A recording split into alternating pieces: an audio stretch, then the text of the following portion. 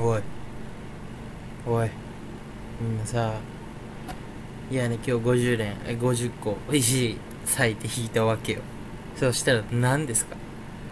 えー、っとねなんと次はえ白ひげとマルコなんですけどなんと面白いことに、えー、そのそのトレジャースゴフェス、えー、1回目の10連全てが星4と。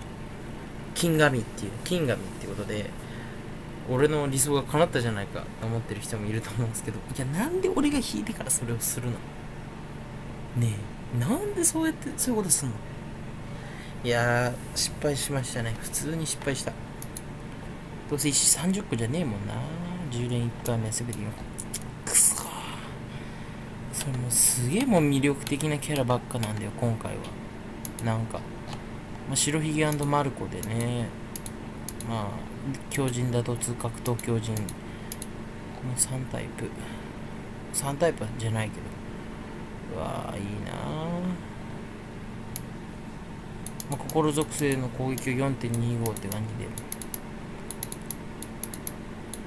一味の回復を1.5倍。あって感じけど。普通に。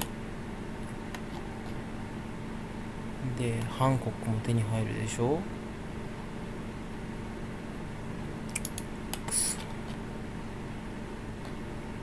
それへえでしょ。